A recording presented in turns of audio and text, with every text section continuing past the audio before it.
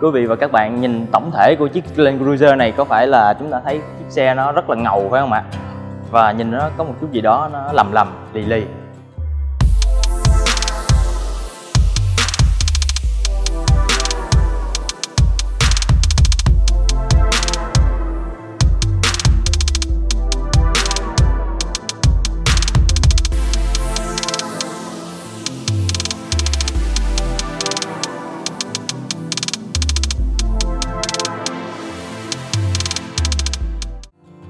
Thưa quý vị và các bạn, chi tiết khác biệt đầu tiên đến từ bên ngoài mà Hiển muốn giới thiệu cho quý vị và các bạn đó là đây.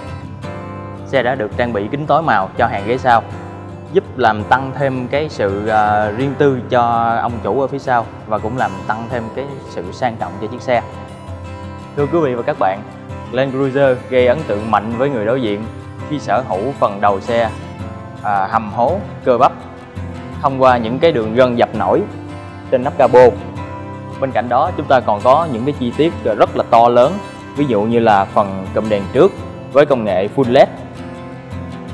Phần lưới tản nhiệt rất là to lớn ở đây, cũng như là cái phần thanh nẹp mạ chrome ôm cho đến gần hết phần à, đèn trước, giúp tăng cái sự à, bề thế và sang trọng cho chiếc xe.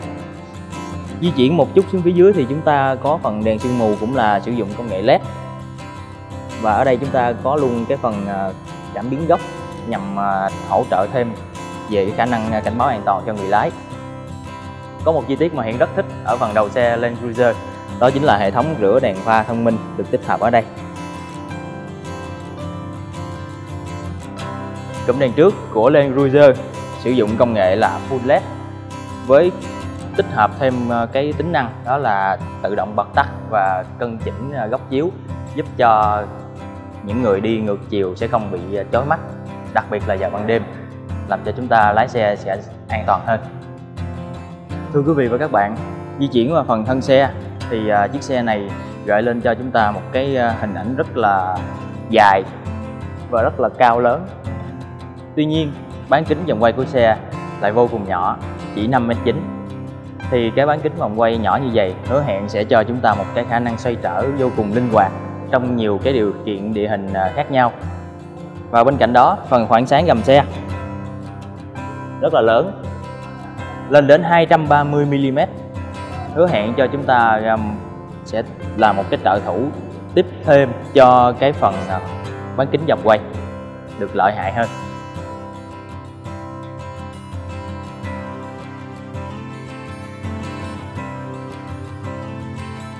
Về phần gương chiếu hậu ngoài của xe Land Cruiser được thiết kế à, rất là to lớn nhằm đảm bảo cho chúng ta một cái vùng quan sát phía sau à, được an toàn hơn. Và phần gương chiếu hậu này có các công nghệ chỉnh điện, gập điện, tích hợp đèn báo rẽ dạng LED. Và bên cạnh đó còn có thêm tính năng nhớ vị trí phù hợp với ghế lái và thêm tính năng sấy gương và chấm chói tự động. Thưa quý vị và các bạn, có một chi tiết ở phần thân xe mà Hiển rất thích Đó là phần tay nắm cửa được tích hợp khóa và mở thông minh. Mình cho tay vào bên trong để mở khóa. Nhưng mà nếu mà như vậy thì quá là bình thường rồi. Trên chiếc Corolla Antis cũng đã có rồi.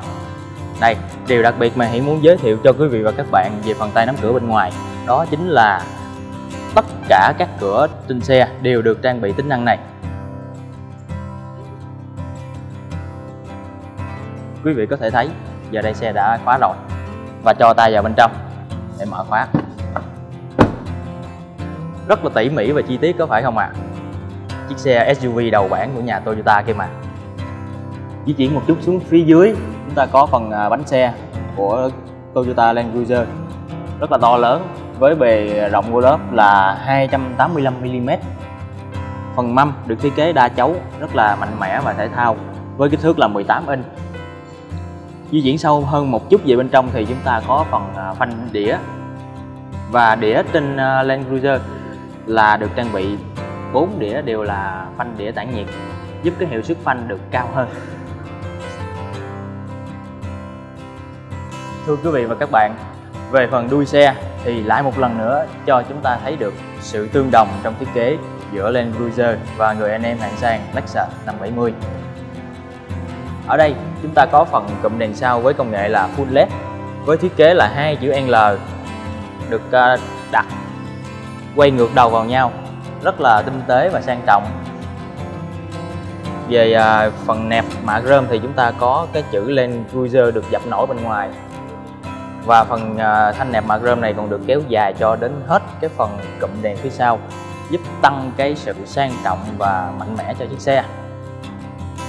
Về phần trang bị an toàn ở phần đuôi xe, thì đương nhiên rồi, một chiếc xe cao lớn như vậy không thể nào thiếu được. Thứ nhất, đó là phần camera lùi được tích hợp ở đây. Và di chuyển xuống phía dưới thì chúng ta có phần cảm biến lùi, cũng như là cảm biến góc được tích hợp ngay đây và di chuyển ờ, xích lên một chút thì chúng ta có phần ờ, đèn sương mù phía sau, cũng như là đèn quán phanh trên cao và một cái cánh hút gió.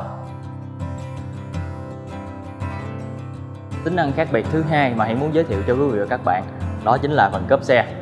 Cốp xe của Land Cruiser này đã được trang bị cốp mở điện.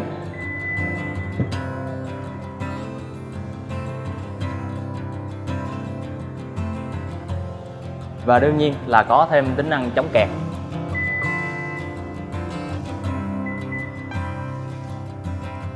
Tính năng này sẽ càng à, tiện lợi hơn đối với những gia đình mà chúng ta hay đi à, du lịch xa mang hành lý cồng kềnh thì có một chiếc cốp mở điện sẽ càng à, tiện lợi hơn. Và đặc biệt là sẽ càng an toàn hơn đối với những gia đình mà có con nhỏ. Về à, phần gấp dưới thì à, khi mà chúng ta mở ra thì không có cần mà chúng ta phải dịnh cái tay lại. Chúng ta có thể buông tay ra. Cốp. À, Hạ xuống rất là nhẹ nhàng và tinh tế. Và hiển sinh bật mí luôn. Cái phần nửa cốp dưới này có hai cách đóng. Một là chúng ta có thể đóng bằng tay lên như thế này. À, còn cách thứ hai. Xin mời quay phim tiếng máy lại gần ạ. Cách thứ hai là chúng ta chỉ cần áp nhẹ cái phần nửa cốp dưới lên. Cốp sẽ tự hết dần rất thông minh và tiện lợi có phải không ạ à?